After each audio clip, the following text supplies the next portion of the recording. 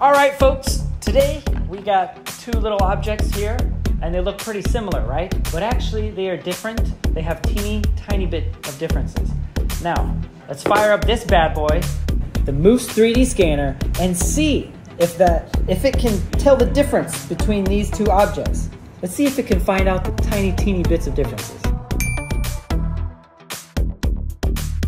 So since these objects are black and metallic, we need to spray the scanning spray onto the objects to make it easier for the 3D scanner to pick it up.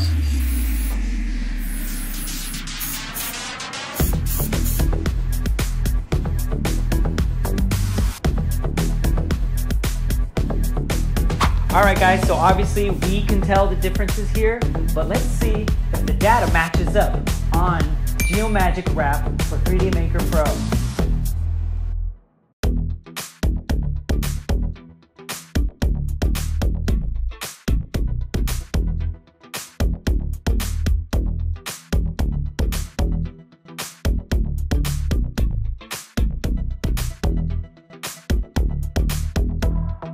And boom, just like that, even though these objects look practically the same, the Moose 3D scanner was able to pick up on the tiny little bit of variations, all thanks to the 0.03 millimeter accuracy.